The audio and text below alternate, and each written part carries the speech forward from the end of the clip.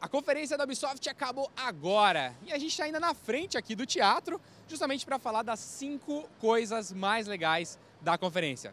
Vamos ver.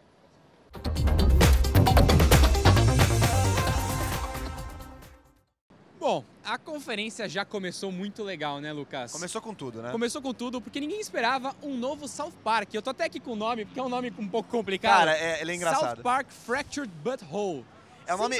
É um nome que em português não faz muito sentido, mas pra quem entende de inglês sacou a, pe- a pegadinha, né? Exatamente, Eles não exato. conseguem parar de brincar nem no nome do jogo, né? É e foi muito legal, porque os dois estiveram ali no palco, Os, né? os criadores, produ- da, os criadores série, da série. E dubladores de boa parte dos personagens também. Exatamente. Trey Parker. E eles falaram mesmo que eles não esperavam fazer mais um jogo. E agora sim, eles aprenderam a fazer e vão continuar essa série, só que agora com super-heróis. É. Né? O que que você achou, Lucas? Cara, eu achei fantástico, eu achei que foi super inesperado começar já a conferência com um jogo novo. O South Park Stick of Truth, o outro jogo, ganhou muitos prêmios em 2014, super premiado e tudo mais. Então eu acho que é, é legal a gente ver de volta mais um jogo do South Park, agora 100% feito sobre o né, o guarda-chuva da Ubisoft. 100% da Ubisoft. Então, meu, eu tô super ansioso pra ver como é que as crianças agora super-heróis vão participar dessa brincadeira e as piadas todas que eles vão fazer, porque é sempre muito A gente divertido. vai dar muita risada, tenho certeza.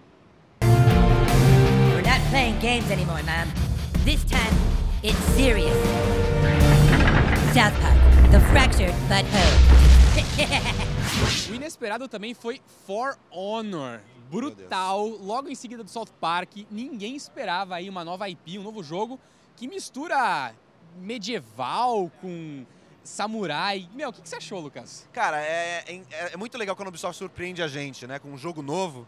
E esse jogo For Honor, ele é meio roots, ele é meio é, lá da pegada, porque, meu, é samurai, que nem você falou, né, na batalha, e não tem magia, né, que os jogos medievais, geralmente, ultimamente, por exemplo, tem muita magia. E esse não. Esse é na porrada, é na, meu, na disputa de espada. O que foi bacana é que eles Ah. jogaram ao vivo, né? Jogaram, Teve ali um é. grupo jogando 4 contra 4, então você já vê ali meio que é, um jogo talvez focado em multiplayer, é, ao mesmo tempo em que você não tem mais aquele lance tático de tiro-alvo, Uhum. você usa uma espada pra jogar no multiplayer. Isso é diferente, é novo. É. Achei muito interessante. É, cara. eu tô louco pra saber mais desse jogo. Em breve a gente deve saber mais, novidades dele, né? Vamos ver. Isso aí, vamos ver.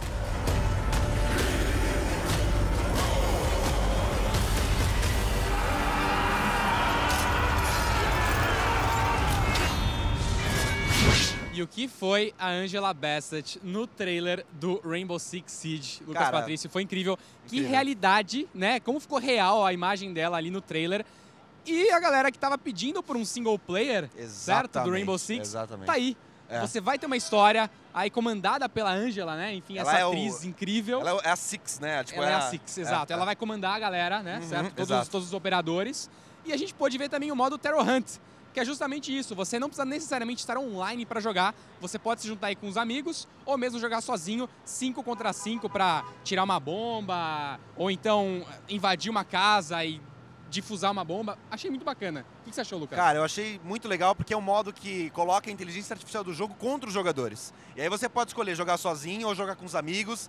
E é muito desafiador, aquele lance você tentativa e erro e encontrar a melhor forma, de, meu, quebra a parede, de puta. Eu acho que tem a essência do Rainbow Six Siege e a essência do Rainbow Six todo, né? Da série Rainbow Six. O legal da Então, demo é, também foi ver justamente um líder em ação. Eu quero ver muito a comunidade né, Exato, se é. juntando, formando grupos, justamente para ter essa tomada mais tática de um líder ali seguindo a galera e falando, ó, vai três por ali, dois por ali, eu vou tentar ver por baixo aqui com o carrinho. Isso eu achei também muito bacana. Muito legal. No matter how or where our enemies strike, no matter what defense they cower behind, Team Rainbow must stand ready.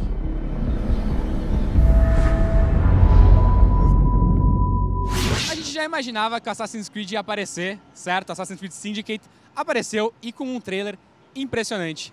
Muito legal porque o assassino vai atrás dos bandidos, certo? Rola uma pancadaria. Lembrou até uma pontinha ali de Batman, né? Que o, é, o é. Jacob ele, ele tem os movimentos muito mais da porrada mesmo. Muito mais brutal, né? Muito mais brutal o jogo, uma CG incrível. O que, que você achou, Lucas? Cara, eu achei que ah, esse vídeo foi incrível. Se você não viu ainda, vai no nosso canal pra assistir, porque é, é fantástico. E mostrou a essência do Assassin's Creed Syndicate, que é, uma- é um jogo de combate mais, mais brutal, mais o próximo. primeiro da Era Moderna, é o isso primeiro vale dessa. ressaltar. mo- É, então. E tem, você viu várias coisas. Tem o trem que mostrou ele em cima do trem. Então, como é que será que isso vai influenciar o transporte durante o jogo? Assim, isso me deixou mais ansioso ainda pro Assassin's Creed Syndicate. O momento que eu mais gostei foi quando ele tava na carruagem, aí os caras atiram, a carruagem cai, aí, putz, já era, vai morrer.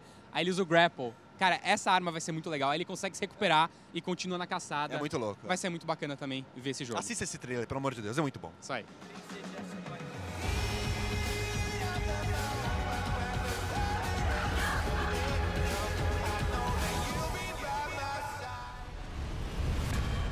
Assassin's Creed Syndicate.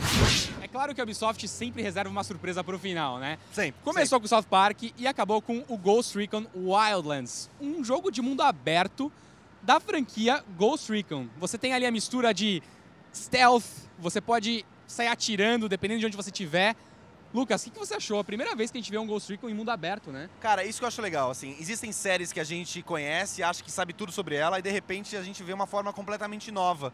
Que, claro, tem ali os elementos clássicos, como do, do Ghost Recon, que são as diferentes formas de você é, é, entrar numa missão. Os com- gadgets, né? Você usa ali o gadgets. drone pra, pra rastrear a É. galera. E ao mesmo tempo uma tomada completamente nova, um mundo aberto onde você tem ali talvez várias opções de como se aproximar do- dos objetivos, de como trabalhar em equipe, a gente percebeu ali que foram vários operadores ao mesmo tempo. Exato. Então, cara, assim, é, é de você ficar sem, sem nem palavras de com tantas coisas legais que podem surgir nesse jogo. Lembrando que se passa na América do Sul, né? Exato, no cartel, então talvez a gente veja muita coisa aí interessante sobre América do Sul. É, Quem sabe Brasil? Será? Será que vai sabemos. ter alguma coisa aí? Fica a dúvida no ar. Mas foi muito legal, né? Muito Então, bacana. no geral, o que, a gente pode falar pro pessoal que perdeu algum desses vídeos ou quer conferir a conferência inteira? Assiste tudo, claro. A gente tem tudo nas nossas redes sociais. Todas as informações você pode acessar aí nos links da descrição.